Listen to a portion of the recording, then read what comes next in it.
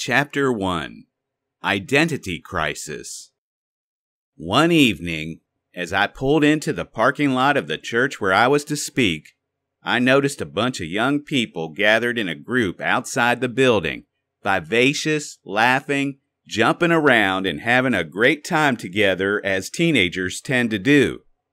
Their lively spirit was very appealing, and I immediately felt drawn to them. I wanted to go over and talk with them and join in with their fun for a little while.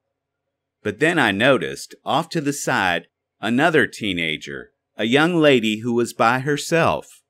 Somewhat overweight and wearing thick glasses, she looked very despondent and obviously did not feel she was part of the group. All at once, my intention to join the cluster of kids was arrested when I heard the Lord say to me, Go over and speak to her.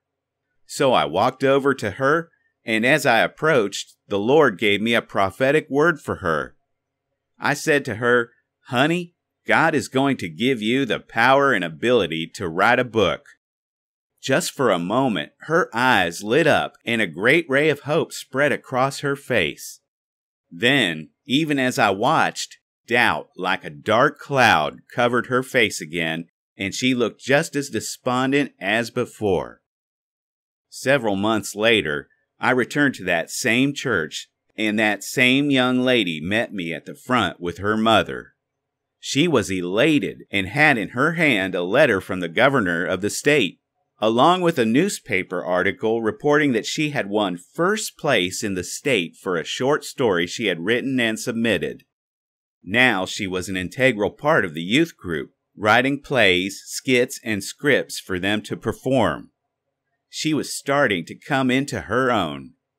By the standards of the world, and unfortunately of far too many churches and youth groups, she was not one of the beautiful people, but she was beautiful to God.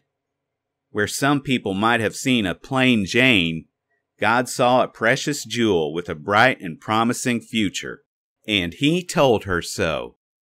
In a few short months, she had changed from a nobody in her own eyes to a somebody with purpose and destiny.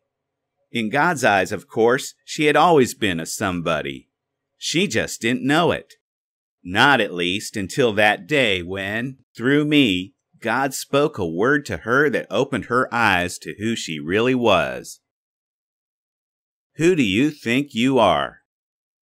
This young lady's dilemma is not unique and is not limited to young people. Saints of all ages struggle daily with their spiritual identity. They are as mixed up as a termite in a yo yo, tossed to and fro with no idea who they are in Christ and little or no scriptural knowledge to give them a solid foundation. Such ignorance in a child of God is not only tragic, but also dangerous. God says, my people are destroyed for lack of knowledge. Hosea 4 6a. The Apostle Peter warns us to be sober, be vigilant, because your adversary, the devil, walks about like a roaring lion, seeking whom he may devour. Resist him, steadfast in the faith. 1 Peter 5 8 9a. Satan loves to pounce on immature believers who lack knowledge because if he can keep them in the dark as to who they really are, he can prevent them from fulfilling their divine destiny. God is not the author of confusion. See 1 Corinthians 14:33. He desires for us to know his plans and purposes for our lives. Satan, the accuser of the brethren and the mortal enemy of our souls, is a thief and a liar who is always busy seeking to rob believers of their true identity in Christ. Ignorance leads to bondage, while the road to freedom is paved with truth. Jesus said, You shall know the truth, and the truth shall make you free. John 8:32. The first truth we need to know is the truth of who Christ is. Second, we need to know who we are in Christ. Heaven and hell are posing the same question to every person in the body of Christ. The Spirit of God and the devil alike are asking us, Who do you think you are? It is an apt question, and the eternal destiny of millions rides on the answer. Without question, the body of Christ today is in an identity crisis of unprecedented proportions. If we are to fulfill our spiritual destiny, we must first know who we are. But before we can discover who we are, we must comprehend who Christ is, because it is only in relation to Him that we can understand our true spiritual identity. God created us in His image, see Genesis 1:27, and has predestined all believers to be conformed to the image of his son. Romans 8:29. But what is the image of his son, Jesus Christ? Paul gives us the answer. He is the image of the invisible God, the firstborn over all creation. Colossians 1:15. In whom dwells all the fullness of the Godhead bodily. Colossians 2:9 and God wants to make us just like Him. Even though we are made in God's image, He also made each of us unique. God delights to display Himself in our individuality. He loves diversity. Every leaf on every tree is different from every other leaf. Every snowflake is different from every other snowflake. God even gave each of us our own personal and absolutely unique set of fingerprints. There is no one else in the entire world like you. You are one of a kind by divine design. God created you to be uniquely you and endowed you with particular gifts, talents, and abilities so that you can fill your unique place in His plan and fulfill your destiny in life. No one else can do what God has called and equipped you to do. No one. Somebody said, God don't make no junk. Well, I've got news for you. God don't make no clones either. There are no copies of you anywhere in the world, and that's just the way God wants it. The world hates nonconformists. It will try to shape you into its own cookie cutter pattern so that you look and sound and act like everybody else. Don't let that happen. You are too precious to God and too important to the body of Christ to allow your uniqueness to be squeezed out. Paul said, Do not be conformed to this world, but be transformed by the renewing of your mind, that you may prove what is that good and acceptable and perfect will of God. Romans 12:2. One modern English paraphrase of this verse really gets the idea across. Don't let the world around you squeeze you into its own mold, but let God remake you so that your whole attitude of mind is changed. Thus you will prove in practice that the will of God's good, acceptable to him, and perfect. Romans 12:2 Phillips. Rejoice in who you are, the person God made you, and don't worry about trying to be somebody you were not created to be. Somebody might be saying, that may be fine for you, but I'm not an eloquent preacher or a talented musician. I can't teach, and I'm shy around people I don't know. I'm nobody special. God disagrees. The world may look at you that way, but God judges by a different standard. While the world pursues superstars, God searches for people who are hungry for Him, ordinary folks through whom He can do extraordinary things. Where the world judges by external appearances, God looks at the heart. See 1 Samuel 16:7. So if your heart is right, if you are hungry for God, he not only can use you, he wants to use you. But it won't happen unless you believe it. Until you stop listening to what the world says about you and start listening to what God says about you, you will never realize your full identity in Christ or fulfill the destiny God has for you. It all boils down to how you think, to what the Phillips translation of Romans 12:2 calls an attitude of mind. For the mind is where the battle for your destiny and mine is fought.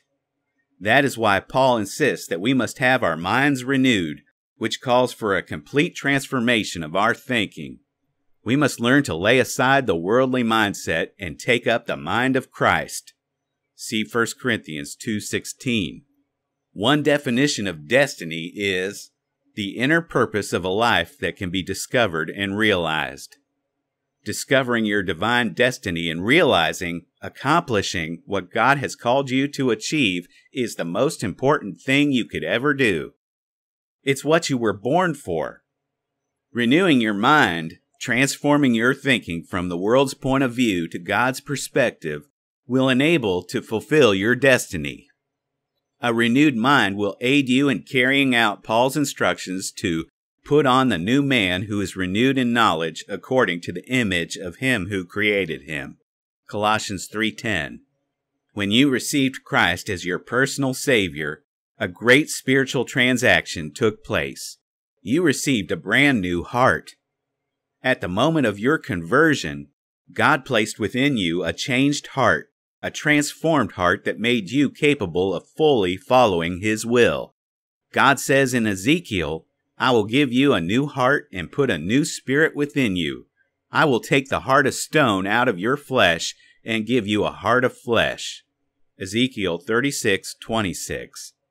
A heart of stone is a dead heart, but a heart of flesh is vibrant with life. Proverbs 4:23 says, "Keep your heart with all diligence, for out of it spring the issues of life." In other words, as your heart goes, so goes your destiny. You can't fulfill your destiny until you know who you are. And in order to know who you are, you have to have your head on straight. Getting your head on straight. In the battlefield of our minds, the devil seeks to sow evil seeds of doubt about God, His love, and His character. At the same time, he seeks to overwhelm our spirits with mind gripping fear. The adversary of our souls is unrelenting in his attacks on God and his Word. Satan's very first words to mankind, as recorded in Genesis chapter 3, was when he asked Eve, Has God indeed said, You shall not eat of every tree of the garden? So very subtly, Satan sowed a seed of doubt in Eve's mind that suggested that God was holding out on her. The devil continues to use that same strategy today. He casts shadows of doubt in our minds regarding the certainty of the Word and the heart of God in an effort to make us think that God is not playing straight with us. The goodness and integrity of God should never be in doubt. The Lord is good, a stronghold in the day of trouble, and He knows those who trust in Him. Nahum 1 7. O taste and see that the Lord is good. Blessed is the man who trusts in him. Psalm 37 8. Our minds set the course and direction for our whole lives. For as he thinks in his heart, so is he. Proverbs 23 7a. This being the case, it is vitally important that we fill our minds with the promises of God, such as Micah 3 8 but truly I am full of the power by the Spirit of the Lord, and of justice and might. And 2 Timothy 1 7. For God has not given us a spirit of fear, but of power, and of love, and of a sound mind. So, what is the key to getting your head on straight? Fill your mind with the right kind of thoughts. Think about the right kind of things, as Paul says. Finally, brethren, whatever things are true, whatever things are noble, whatever things are just, whatever things are pure, whatever things are lovely, whatever things are of good report, if there is any virtue and if there is anything praiseworthy, meditate on these things. Philippians 4 8. My high school football coach taught me a principle to aid me in bringing down the ball carrier. The body will always follow the head. The same is true in our spiritual lives. If our minds are filled with wrong desires, we will waste our lives trying to satisfy them. On the other hand, if we set high and noble standards for thought and life, God will help us meet them because the steps of a good man are ordered by the Lord, and he delights in his way. Psalm 37 23.